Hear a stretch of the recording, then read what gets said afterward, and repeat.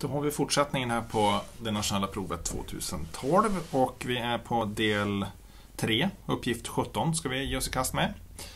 Per kastar två sexsidiga tärningar. Han studerar differensen mellan tärningarnas antal prickar. Hur stor är sannolikheten att differensen blir 3? Så där har vi till exempel eh, att han har slagit 3 och 4 och differensen då blir då 4 minus 1. Nej, minus 3 är lika med 1. Så det är det vi ska försöka reda ut. Då tänker vi, vad vet vi? Två tärningar. Differens lika med 3, alltså att vi har tagit minus.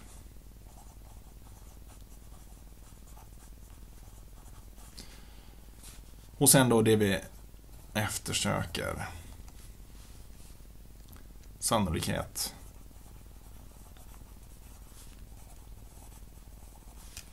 För differensen 3.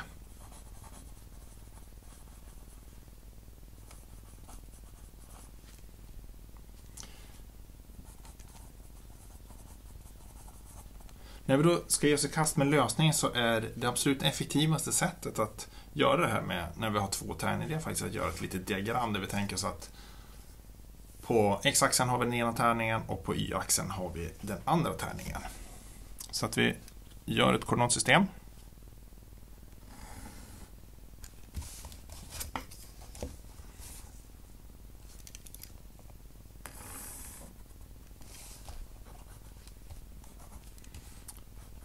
Tärning 1 och tärning 2. Så då tänker vi att de olika utfallen här då, att vi slår en etta, tvåa, trea, fyra, femma eller sexa på tärning nummer ett. Och på motsvarande sätt får vi då på y-axeln den andra tärningens utfall.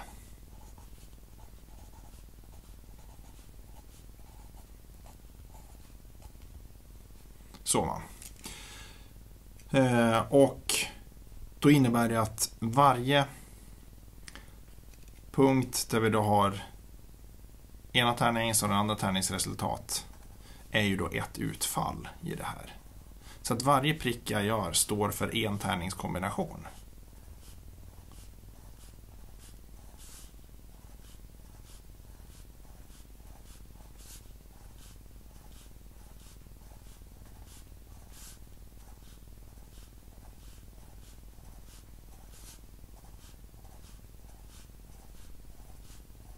Så här kan vi då se att till exempel den första punkten den står för att jag har kastat en tärning med ena tärningen, en etta med ena tärningen och en etta med den andra.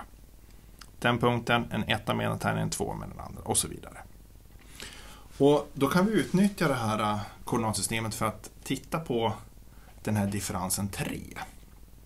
Det vill säga, vi tänker så här, om jag slår en etta med första tärningen, vad måste jag slå då med den andra för att få differensen 3? Det kanske inte ens är möjligt. Kan jag slå en etta? Nej, då är differensen 0 tvåa, då är differensen 1, trea, då är differensen 2, 4. Den ska ju kunna funka.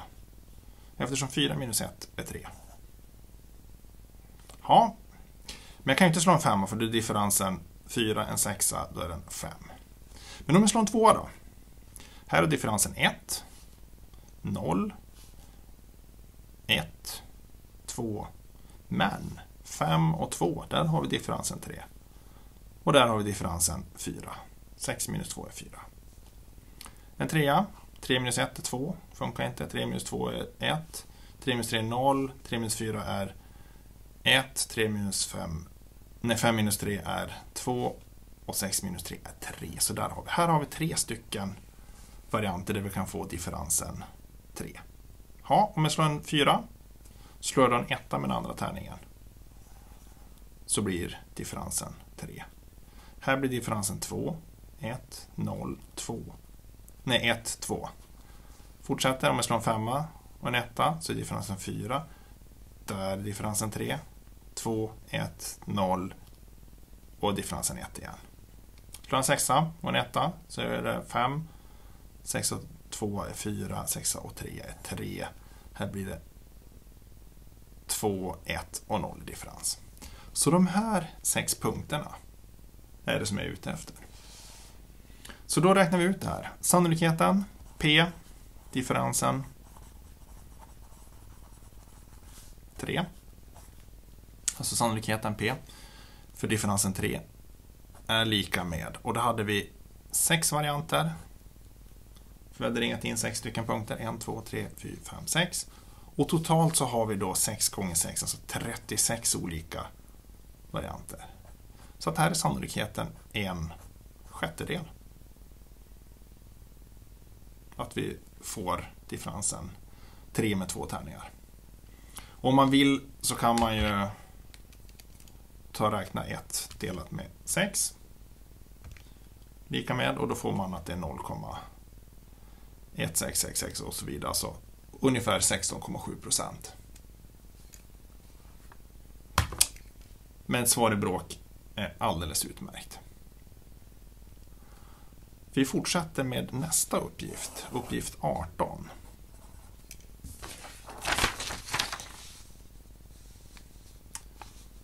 Och då har vi följande. I ett reklamblad fanns följande information. Lånebanken, får jag låna? Ja, visst. Vi kräver varken kontantinsats eller säkerhet. Och då kan man se att om man lånar 300 000 så har vi den här räntesatsen. Vi har den här återbetalningen per månad. Och den inkluderar ju både amortering, alltså avbetalning och ränta. Om vi lånar på 10 år eller om vi lånar på 12 år. Lånar vi 100 000 så har vi den räntesatsen. Den återbetalningen på 10 år, ränta inklusive amortering. Och den här återbetalningen på 12 år som också innehåller både ränta och amortering.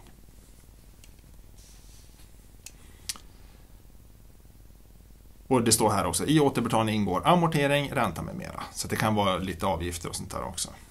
Då står det så här, René funderar på att låna 100 000 med återbetalning under 10 år. Det vill säga, det det här lånet och det här är hennes återbetalning per månad.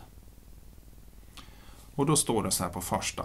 Använd informationen i reklambladet och beräkna hur mycket hon ska betala till banken då lånet är återbetalt. Alltså hela återbetalningen. 18a. Vi vet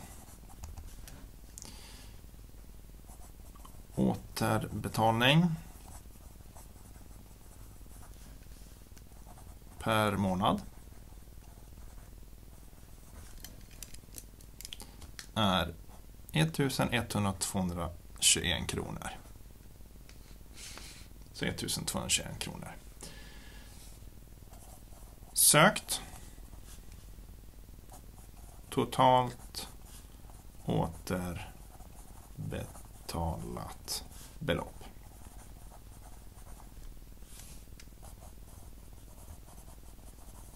Och när vi då löser det här så då tittar vi, ja men vi vet hur mycket hon ska betala tillbaka till månad. Eh, och vi vet ju hur många år. 10 år. Så totalt belopp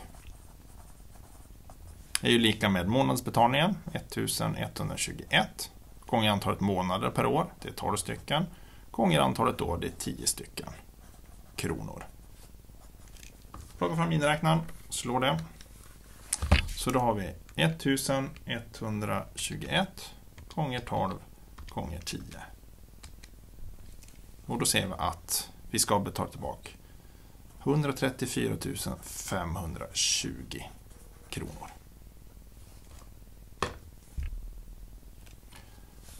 Det var uppgift A. Uppgift B. Då står det så här. Hur stor andel av första månadens återbetalning utgör räntekostnaden? Och då är det så här att i och med att vi betalar lika mycket varje månad och det ingår amortering så innebär det att lånebeloppet kommer att vara mindre hela tiden. Och det gör att räntan kommer att utgöra en mindre och mindre del av återbetalningen och amorteringen en större och större del. Tills man till slut har betalat tillbaka alltihop. Eh, och nu har vi då fått veta lite saker här. Så vi skriver upp vad vi vet. Vi vet räntan. Som är 6,85 procent. Återbetalning. Den är 1121 kronor per månad. Och lånet, det är 100 000 kronor. Sök TV har efterfrågat. Det är då räntans andel av första månadens betalning.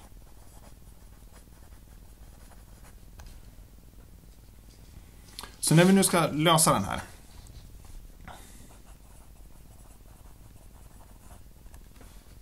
Då får vi ta och eh, börja med att tänka, ja men räntan den är ju då 6,85% av lånet för ett helt år.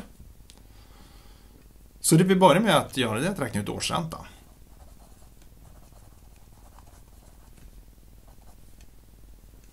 Och det är då räntesatsen gånger lån. Alltså räntesatsen 6,85% och lånet 100 000.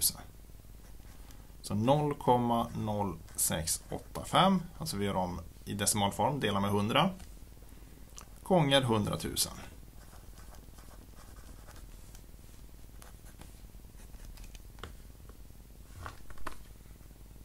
Nu är man lite osäker på det, så tar man fram räknaren. 0,685 gånger 100 000. Men eftersom vi har delat det här med 100 och där det är 100 000 så kommer det att bli 6 850. Det är alltså årsräntan.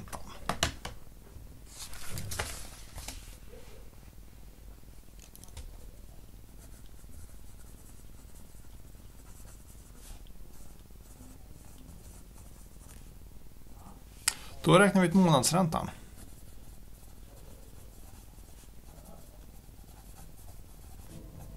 Och då tar vi alltså våran årsränta och delar med antalet månader så får vi månadsräntan. Så det är bara att ta våra 6850 delar med 12 och då får vi det till 570,83 kronor. Och frågan var ju hur många procent den här utgör av första betalningen. Så då andel är ju då månadsräntan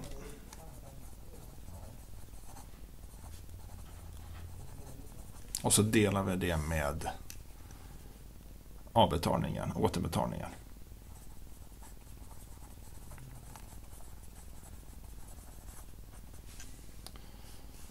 Så 570,83 delat med 1121, för det är ju det vi betalar, ränta och amortering.